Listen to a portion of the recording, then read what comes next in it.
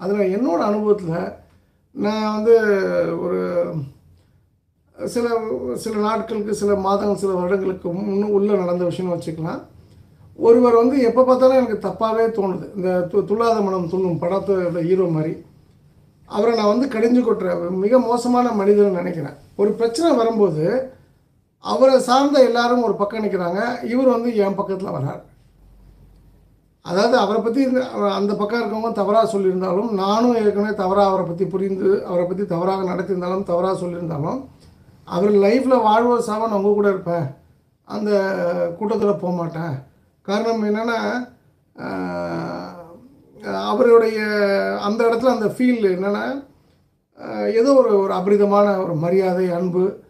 அப்போ நான் என்ன நினைக்கிறேன் வந்து இப்போ நம்மளுடைய ஃபார்முலா வந்து இந்த இடத்துல தப்பு. அப்போ இது எப்படி இவருடைய விஷயத்தை நம்ம கால்குலேட் பண்ண விட்டுட்டேன் போது இது ஒரு விசித்திரமான உண்மையாக தான் எனக்கு படுது. உங்கள் லைஃப்லையும் இது போல் சம்பவங்கள் இருந்திருக்கும்.